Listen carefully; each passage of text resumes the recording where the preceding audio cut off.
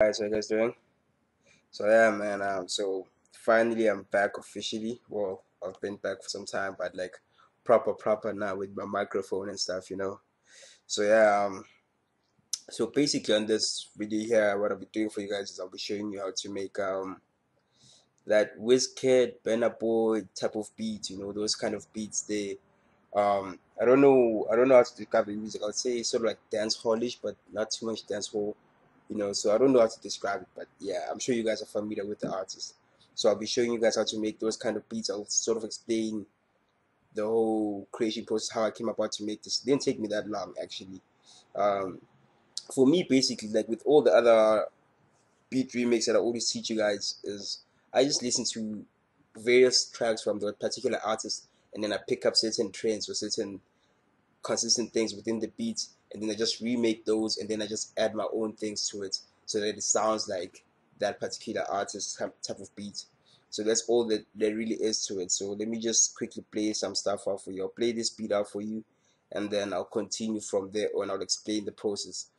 The reason I'm playing it at the beginning is so that if you feel like it doesn't sound like the actual type of beat, like something that you hear from Wizkid or Burna Boy, then you can skip the video. If you feel like it does sound like it, then you can stay tuned and watch some more, and then you know sort of check out um how it's done and stuff.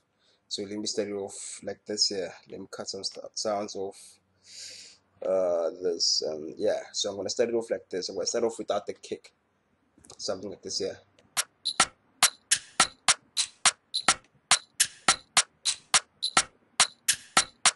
so i'm gonna it off like that then add this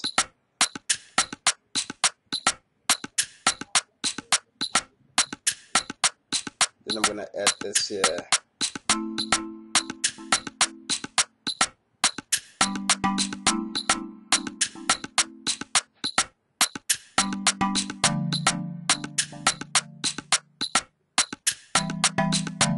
Follow through with the kick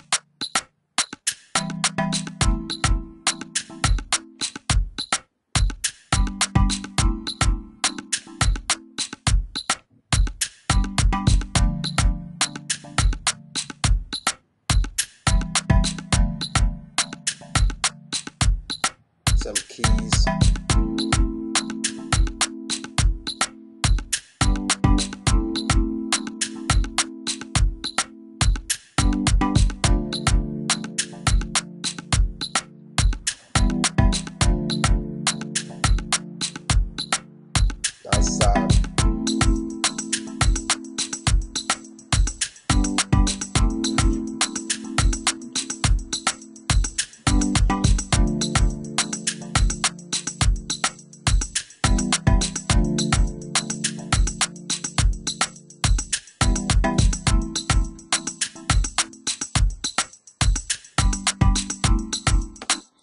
That's basically the gist of the beat. That's how I made it. Um, if you feel like it sounds sort of like Wizkid or Burna Boy type of beat, then you can stay and, and watch basically as I explain the different parts and how I made it and the critical parts to the beat. If you feel like it doesn't sound anything like that and you're, you're not interested, then you can skip this tutorial and yeah. So let's start. Let me just explain some some few things. Actually, I'm gonna start off by showing you how long it actually took me to make this beat. So it took me about 41 minutes so far. You know, probably lesser than that. I think it's about I think it was about 20 minutes because I spent some time trying to, as you can see, I've got a new laptop and stuff. So I spent some time trying to figure out how to connect my microphone and all those things. So yeah, now I'm sorted. But anyway, I'm gonna start you off with the critical pattern that I, I told you guys that I always observe. So this is the pattern here. It's this pattern here. And literally, if you listen to any sort of like Naija song that's almost the same as Wizkid, um, for example, Pana by Thing by Tekno. Is, is it Tekno? I think so. Yeah. If you listen to that song, you're gonna hear it actually has sort of the same. It's like it's this rhythm here. It's like You see, so it's like pa pa pa pa pa pa pa pa pa pa. So if you follow that rhythm there, then you just build from that part there, then you sort it. So that's all it takes. In terms of BPM, it ranges. I I worked at 110 and then I just took it down to 105 because I felt it was more appropriate there. But you can, I think like around like 100 to 110, you should be good. so let me just play this pattern for you and explain it so it sounds like this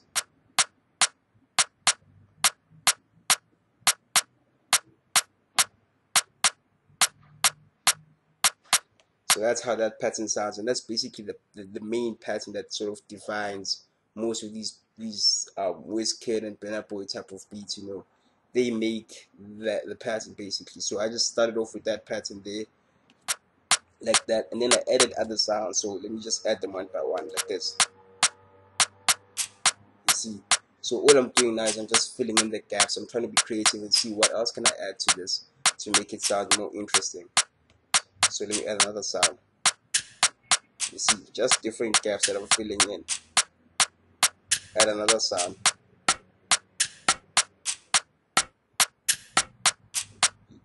You hear the difference. Then add another sound.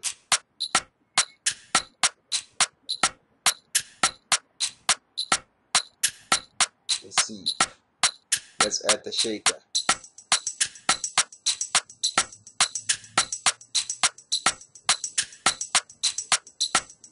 then the last sound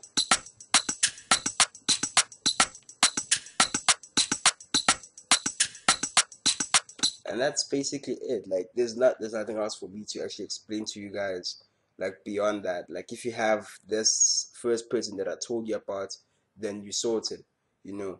And then from there on all you need is with um is that I think it's Wiz if you listen to Wizkid's new song with Drake I forgot what it's called I think it's Get Close or something like that you listen how simple the beat is you know so I just sort of drew from that and I was like, okay, let me add a sound similar to sort of that as well, like something like a, a steel drum sort of thing. And then I just went and I created a steel, steel drum sort of pattern and I just add some reverb to it. So this is the steel drum right here. I used okay, no, that's, those are the keys, sorry. The steel drum is here. So the key, the steel drum and the keys are the same. That's because I start off by making the keys, as you can see how long it is. And I just took the same pattern for the keys and I added it to the steel drum and then, yeah, so it sounds like this, yeah. The steel drum on its own it's like this. So I added some delay to it you hear like the feed it's up. So it sort of fills that gap. If the feed was low it was gonna sound like this yeah. So let me play the whole you see it sounds like that it sounds really flat. And with the beat it doesn't sound so nice as well. It sounds like this with the beat. You see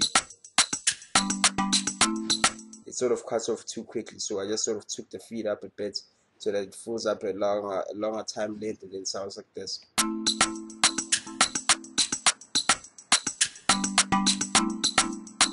You get it, that type of thing.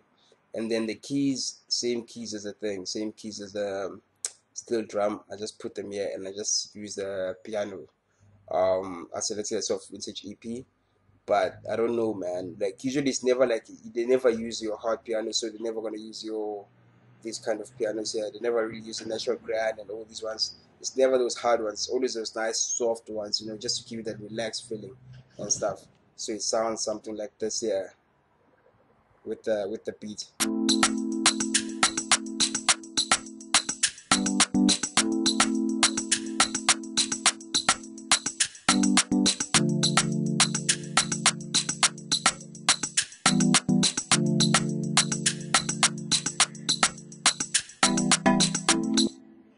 It. So that's basically the gist of it, man. Like, there's nothing more for me to explain in terms of the kick. Um, what I did is just I used, I followed almost a similar pattern as this, the main the main pattern for the sounds, and then I just twisted it around here and there, you know, because I didn't want to have the kick also going on the same pattern as the other sounds. So I just played around with the kick a bit. So that's why the kick sounds sort of, it's got those off moments as compared to this pattern here. So let me play like this for you let me just play the pattern for you like this here see the pattern sounds like this. So the kick sounds it sort of follows the pattern but changes and has a few gaps here and there like this here so it sounds it sounds like this with the pattern all together.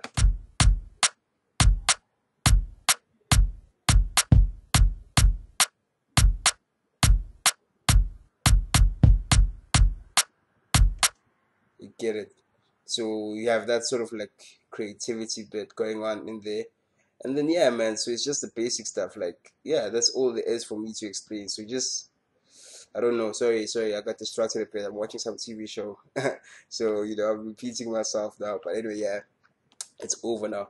But anyway, so that's basically the pattern. If you just create that pattern there, then you add these following sounds and all that stuff, you should be good. Um, if you guys have any further questions, please let me know. And what I'll do is I'll just use the same beat, and I'll I'll try to sort of cover two genres. Actually, no, I'll just maybe I'll make I'll make I'll make another another video with um for thing for amapiano because people have been asking me to make a a amapiano type of type of beat and teach them that. So I feel like this is all, almost there. For example, sorry, I know I'm getting distracted now, but let me just take let me do this a bit for you guys. For those of you who are familiar with amapiano, it actually sounds very much like this. You just take it up, let's say about 110, 12 yan, like this. So not that quick, but like somewhere there. So what you might change would be this here, remove the sun.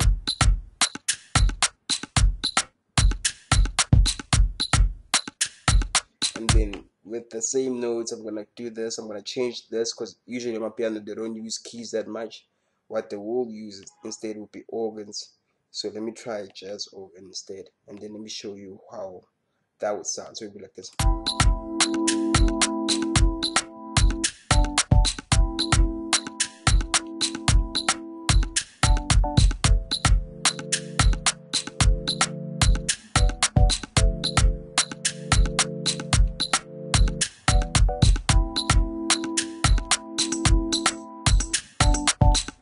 That that would basically sort of be like the gist of it.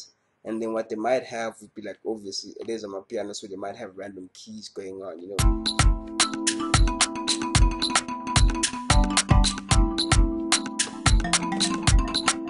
You see that type of thing